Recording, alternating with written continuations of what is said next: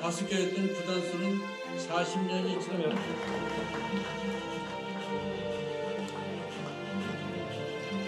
네, 두분 기념사진과 함께 촬영하겠습니다.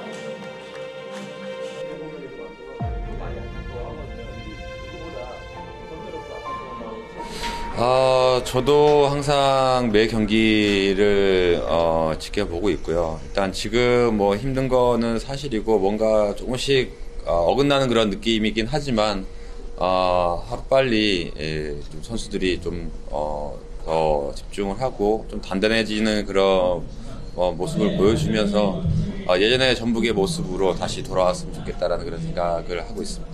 항상 응원하고 어, 지지를 하고 있습니다.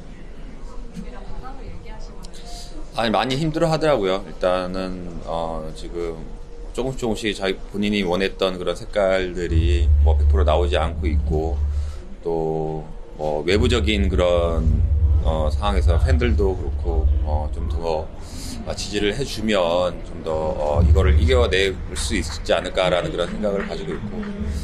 뭐 선택을 해야 되는 그런 결정자여서 긴 하지만 선수들 이제 부상도 많고 운영하는 데 있어서 약간 아, 쉽지 않은 그런 부분들이 좀 있다고 얘기를 하면서 좀더 어, 좀 응원을 해주면 어떨까라는 그런 생각을 가지고 있습니다. 또저 그거에 대한 좀 조언을 해주신다면 글쎄요, 이제, 어, 예전에 제가 전북에 있었을 때 그런 선수들이 많이 빠졌더라고요. 어, 그래서 그 기존에 있었던 그런 선수들, 음, 베테랑 선수들이, 어, 좀 그런 부분에서 예. 감독 코치들이 할 수 없는 그런 역할들을 좀 해주면서 이 어, 상황을 좀 슬기롭게 헤쳐나갔으면 좋겠다라는 생각을 가지고 있습니다. 네.